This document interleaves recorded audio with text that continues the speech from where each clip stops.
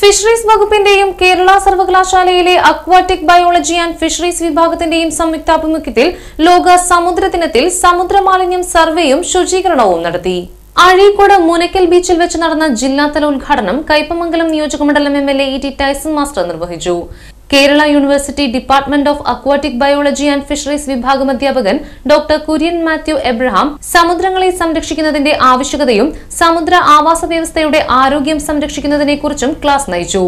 BVoc fish processing and technology വിഭാഗം മേധാവി doctor K A Sayana Azhikode fisheries extension officer Leena Thomas Kalady Sree Sankara കോളേജിലെ zoology വിഭാഗം assistant professor Revathi Babu Kerala യൂണിവേഴ്സിറ്റിയിലെ aquatic biology and fisheries വിഭാഗം post doctoral fellow doctor P Karthikeyan എന്നിവർ സംസാരിച്ചു.